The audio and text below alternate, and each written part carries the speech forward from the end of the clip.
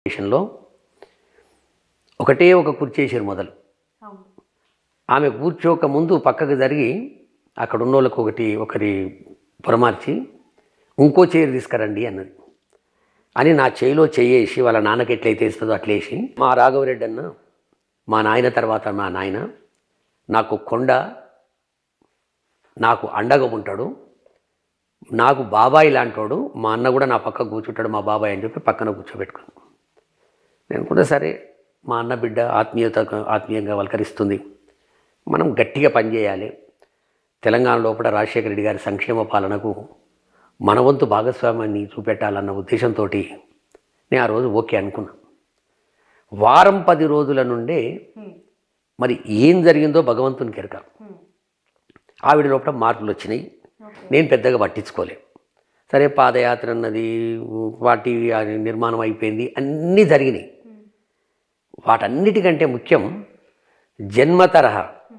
రాజశేఖర రెడ్డి గారికి రాజశేఖర రెడ్డి గారి కుటుంబానికి పూర్తిగా వ్యతిరేకంగా ఉన్నటువంటి ఏబిఎన్ ఆంధ్రజ్యోతిలో పోయి కూర్చొని చూడండి ఆ రోజు మొత్తం నా మనసు విరిగిపోయింది అంటే ఏబిఎన్ ఆంధ్రజ్యోతిలో కూర్చోవడానికి ఆమె పార్టీ పెట్టినప్పటికీ గ్యాప్ ఉంది కదా అంటే పార్టీ ఫ్లోటింగ్ అయిపోయి పాదయాత్ర అంతా కంప్లీట్ చేసినాక అనుకుంటా కాదు కాదు ముందే పాదయాత్ర కంటే ముందే అది కూడా దాగుడు మూతలు. అప్పుడే ఏబిఎన్ రాధాకృష్ణ షర్మిలమ్మ గారు లోటస్ పాండ్కి వస్తున్నారని కొంతసేపు బ్రేకింగు. అసలు పోతనే లేదని ఒకసారి బ్రేకింగు. ఎవ్వరికి తెలియకుండా. అక్కడ ప్రత్యక్షమైంది. నేను వీటన్నిటి తప్పుపట్టడం కాదు. ఏబిఎన్ రాధాకృష్ణ గారికి రాజశేఖర రెడ్డి గారంటేనే కుత్కెల దాకా పగ. కషి. నువ్వు అటువంటి దగ్గర పోయి కొన్ని తప్పుడు మాటలు కూడా మాట్లాడింది.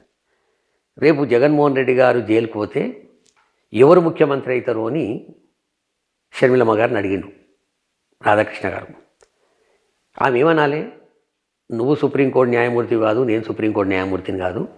అది కోర్టు జ్యుడిక్షన్లు ఉంది. వచ్చినప్పుడు చూద్దామనే మాట మాట్లాడితే ఆమె హుందాతనానికి రాజశేఖర రెడ్డి గారి బ్లడ్కు ఒక విలువ వస్తుంది.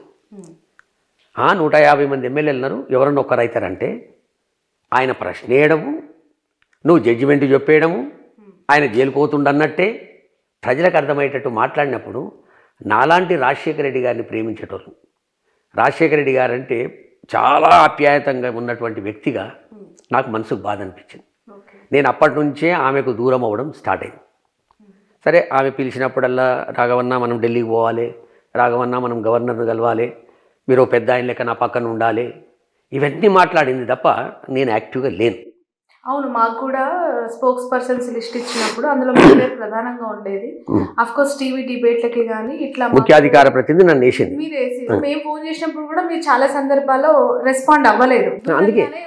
ఎందుకు ఇప్పుడు ఈమె ఏదో కొంత తప్పుదోవ స్టార్ట్ అయింది. దీని ఎంబటి ఎవరి ప్రోద్బలం ఉంది? ఎవరి యొక్క కీలు బొమ్మ ఎవరి మా చేతిలో కూడా కీలు బొమ్మ అయ్యింది ఎవరు బ్లాక్మెయిల్ చేస్తున్నారు అనేది నాకు ఇప్పటి వరకు కూడా అర్థమవుతుంది కాకపోతే ఆమె తీసుకునే ప్రతి నిర్ణయం అది ఏదన్నా కావచ్చు బోనాల పండుగ పోయి బోనం ఎత్తుకోకపోవడం కావచ్చు బతుకమ్మ పండుగ పోయి బతుకమ్మ ఎత్తుకోకపోవడం కావచ్చు పోలీసులను ఎంట కొట్టి ఎంట తరిమి తరిమి కొట్టింది కావచ్చు వీటన్నిటి వెనకాల ఎవరు స్కెచ్ చేస్తారు? ఈమె బాగోగులు దృష్టిలో మాత్రం ఈ స్కెచ్ చేయరు. నాలోంటి బాగోగులు చూద్దామనుకుంటోని పక్కనకి వెళ్ళిపోయే పరిస్థితికి తెచ్చింది. ఏం చేయాలని అర్థం కాక నేను స్తబ్దతగా ఉన్నా. ఎప్పుడైతే ఇక మీరు చూసారు పార్టీ విషయం లోపల అప్పుడే నూట పంతొమ్మిది నిలబడతా అంటది అప్పుడే నిలబడతలేమంటది అప్పుడే సోనియా గాంధీ దేవత అంటది సోనియా గాంధీ నమ్ముతలేదంటది వాళ్ళకు ఒకసారి బ్లాక్మెయిల్ చేసే ప్రయత్నం చేసింది. ఆయన అయినా తెలంగాణ లోపట అసలు వాళ్ళు ఈమెను పట్టించుకోలేదు.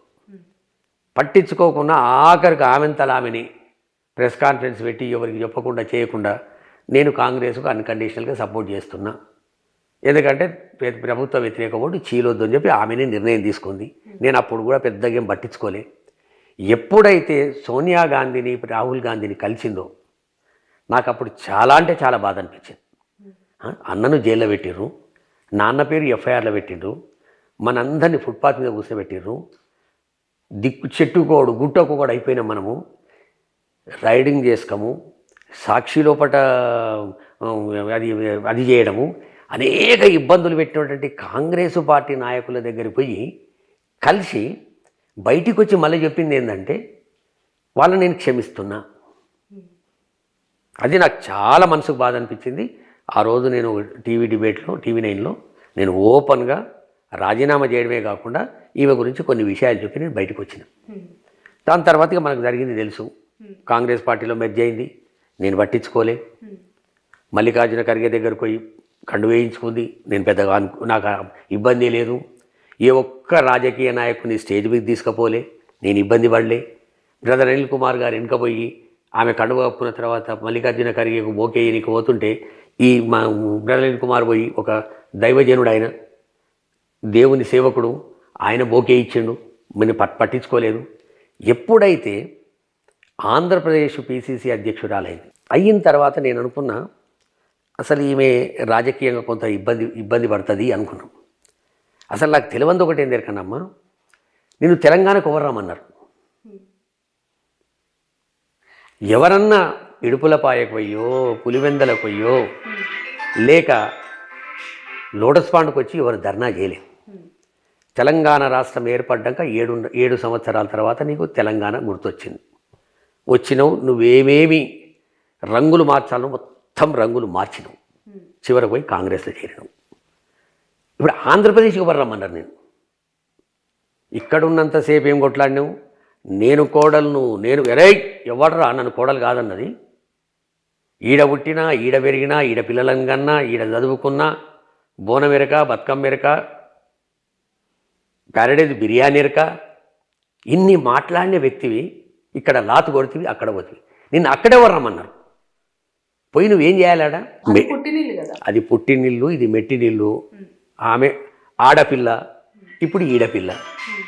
అందుకు అందుకు నేను ఒకటే ఒక్కటి మాట్లాడదలుచుకున్న షర్మిలమ్మ గారిని. అక్కడే నిన్ను ఎవరు పిలిస్తే పోయినావు. సరే నీ రాజకీయ భవిష్యత్తు గురించి నువ్వు పోయినావు. పార్టీని వద్దనుకున్నావు. విలీనం చేసినావు పోయినావు. అక్కడ పోయిన తర్వాత నీ నీ ధర్మం ఏంది? చచ్చిపోయిన కాంగ్రెస్ను లేపాలి. స్కెల్టన్ లాగా ఉన్నటువంటి కాంగ్రెస్ను లేపాలి. ఆ బుక్కలన్నీ దొరికితే మొదలు స్కెల్టన్ తయారు చేయాలి. దానికి ప్రాణం పోయాలి. ఆ తర్వాత నువ్వు రాజకీయంగా రెండు వేల తొమ్మిది తర్వాత రెండు వేల పద్నాలుగు వరకు ఉన్న ముఖ్యమంత్రులు ఏం చేసిరో చెప్పాలి.